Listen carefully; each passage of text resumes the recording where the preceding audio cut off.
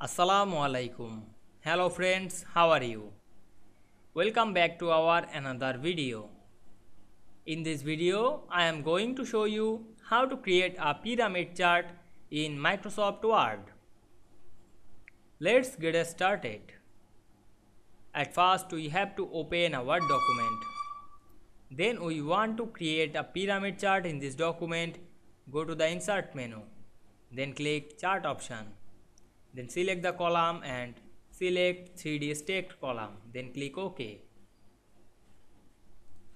Then click the chart and go to the design menu. Then click select data.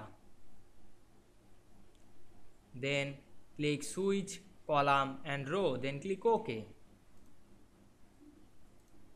Then click the charts area and click right button on our mouse. Then go to format data service. Then we can see here opened a format data service. Then we select the full pyramid.